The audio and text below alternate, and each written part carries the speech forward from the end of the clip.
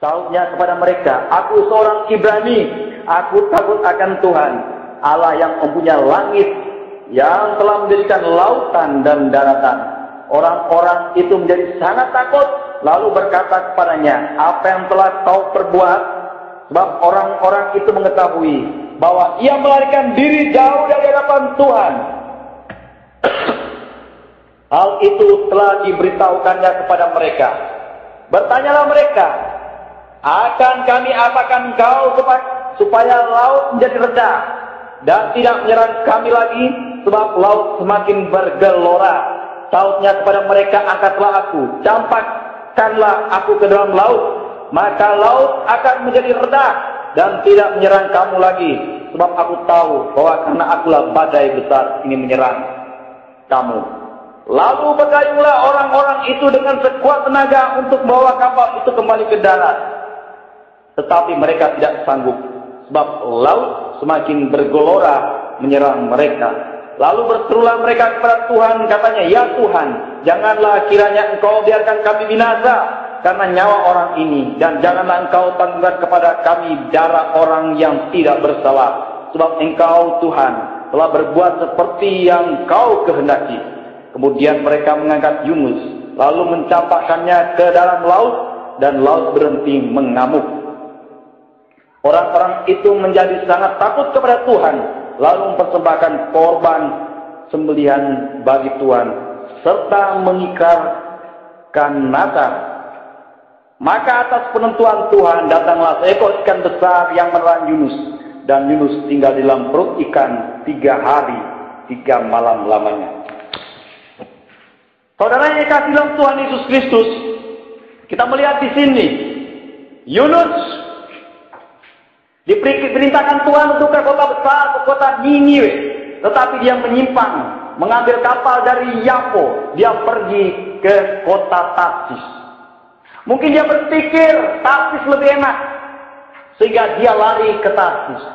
Mungkin saya akan berkata seperti itu lebih aku di Jakarta ngapain ke sini ke daerah transmigrasi. Sebagai seorang pendeta mungkin tidak akan sanggup pelayanan di tempat ini. Mau dapat apa? Jemaat cuma satu, cuma dua. Kalau berpikir secara ekonomi, nggak bisa hidup.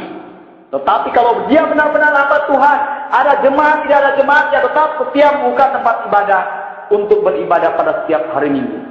Saya mengikuti pelayanannya setiap bulan itu sudah pada khotbah-khotbah-khotbah terus. Saya pikir enak benar jadi pendeta. Sekali khotbah langsung dapat amplop. Itu pelayanannya padat. Kadang sampai tiga kali kebaktian. Habis khotbah makan amplop. Habis khotbah makan amplop. Nah kalau kita menjadi pendeta, menjadi hamba Tuhan, mau jadi mau menjadi amplop, lebih baik jangan.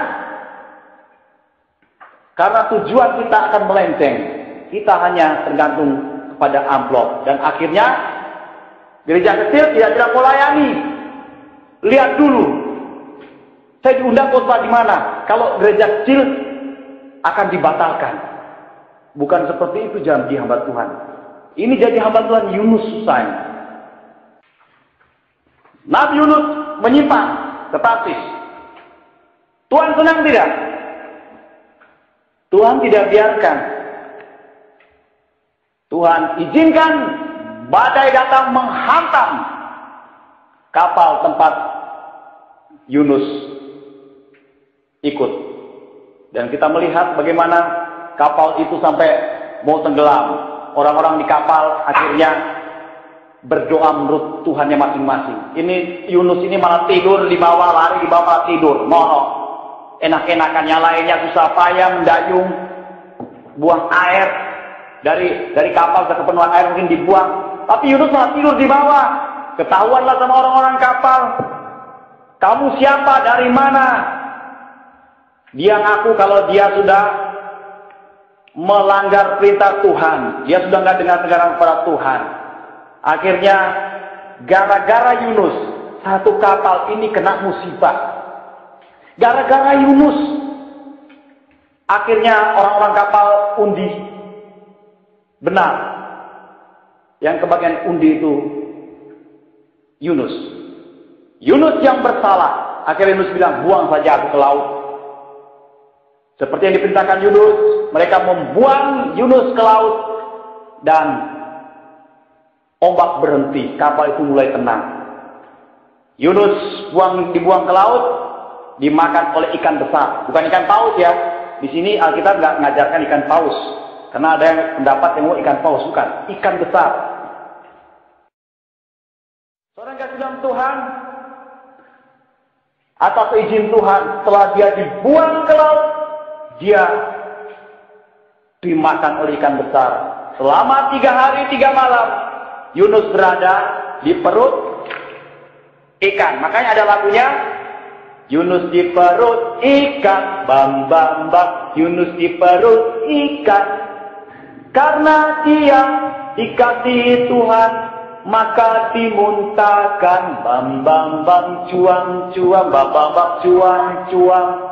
Cuang cuang, bam bam bam, cuang cuang. Yunus di perut ikan. Karena dia dikasih Tuhan, masih dikasih Tuhan, akhirnya dia dimuntahkan.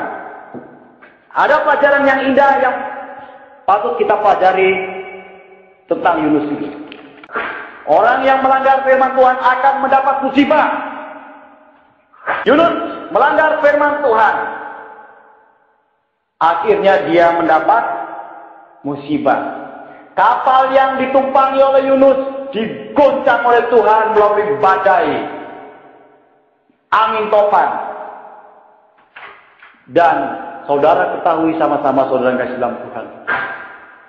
Gara-gara Yunus juga. Seisi kapal ini mendapat musibah. Bukankah sering karena kesalahan kita kepada Tuhan. Kita sering melanggar firman Tuhan. Kita tidak dengar-dengar kepada Tuhan. Kita dihukum Tuhan. Bukan kita yang kena juga. Tetapi kadang saudara-saudara kita yang di dekat kita kena imbasnya.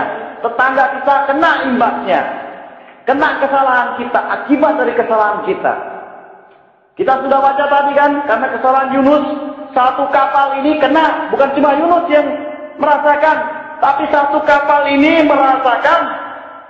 Jadi kalau anak Tuhan mulai melanggar firman Tuhan, dikatakan di masyarakat ada anak Tuhan yang tidak dikatakan kepada Tuhan, Tuhan hukum, masyarakat juga bisa kena. Betul? Betul. Jadi ingat baik-baik, kesejahteraan, usahakanlah kesejahteraan di mana engkau ditempatkan. Ada firman Tuhan ya kan? Usahakanlah damai sejahtera di tempat di mana engkau berada. Jadi Pak Pendeta Yunus tempat ini bukan kebetulan. Pak Muji di tempat ini bukan karena kebetulan. Saya di tempat ini bukan karena kebetulan. Ibu Gembala, Ibu Heni bukan karena kebetulan, tapi ada maksud Tuhan kita di tempat ini supaya mengusahakan daerah di tempat ini memiliki damai sejahtera. Coba kita lihat. Begitu Yunus bertobat, minta ampun kepada Tuhan. Badai reda, seluruh kapal, seluruh orang seisi kapal itu diselamatkan Tuhan. Rupanya negara kita Indonesia ini juga tidak lepas dari anak Tuhan. Kalau banyak hamba Tuhan mulai melanggar Tuhan, banyak hamba Tuhan pendeta-pendeta yang sudah nggak benar tujuan hidupnya hanya mencari kepentingan sendiri, banyak hamba Tuhan pendeta-pendeta hanya untuk memperkaya diri, banyak anak Tuhan di partai politik bukan untuk kesejahteraan rakyat miskin tapi untuk kepentingan pribadi, itu negara kita bisa kena hukum, saudara. Amin. Kalau Bapak Pendeta Yunus di sini hidup seenak-enaknya, melanggar firman Tuhan, daerah ini bisa kena juga imbasnya. Ini sesuai dengan firman Tuhan. Karena jelas firman Tuhan katakan apa? Usahakanlah kesejahteraan di tempat di mana engkau ditempatkan. Betul saudara? Ini yang saya yakini. Coba bayangkan, Gelombang laut menghantam, badai topan menghantam kapal yang ditumpangi oleh Yunus. Apakah cuma Yunus yang merasakan? Apakah cuma Yunus? Tidak seisi kapal. Kadang di masyarakat terjadi musibah, kadang di masyarakat terjadi masalah. Itu karena ada anak-anak Tuhan yang melanggar perintah Tuhan. Karena ada hamba-hamba Tuhan yang melanggar firman Tuhan, yang tidak dengar-dengaran kepada perintah Tuhan. Ini kita harus pahami.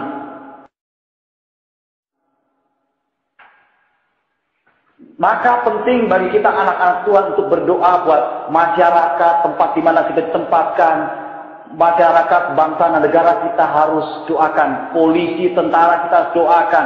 DPR, MPR kita harus doakan.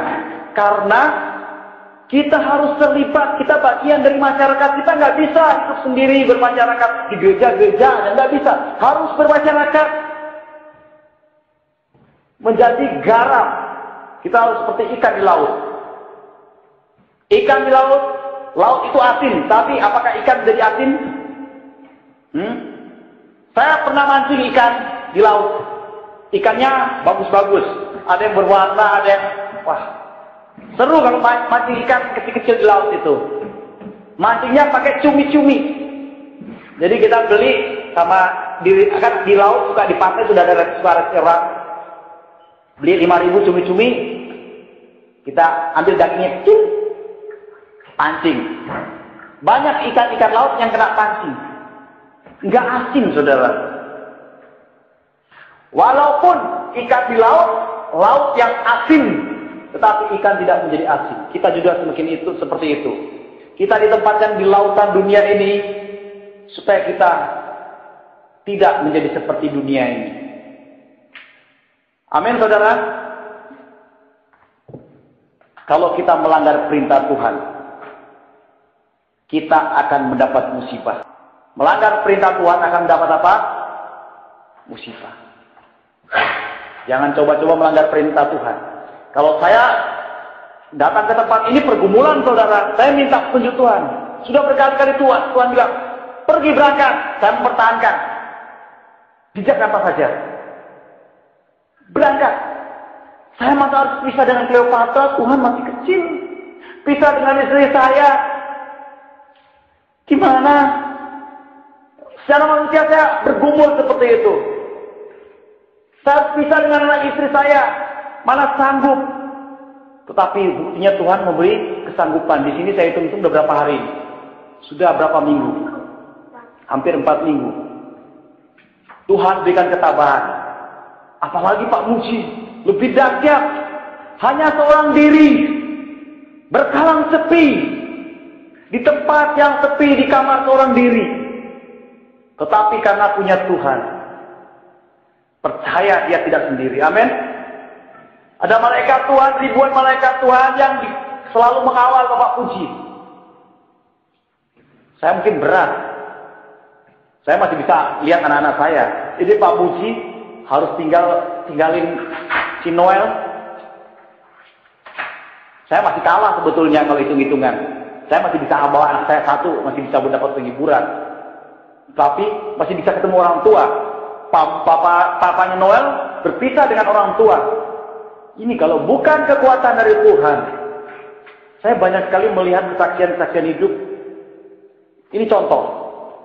Perhatikan contoh pada papanya Noel. Secara manusia, secara fisik mungkin orang memandang papanya Noel itu tidak mungkin mendapat wanita cantik. Tetapi Tuhan beri wanita cantik, ibu Dece, seksi lagi. Berwibawa lagi. Punya wibawa rohani lagi. Saudara nggak bilang Tuhan, ini karena Pak Muji itu ikut Tuhan.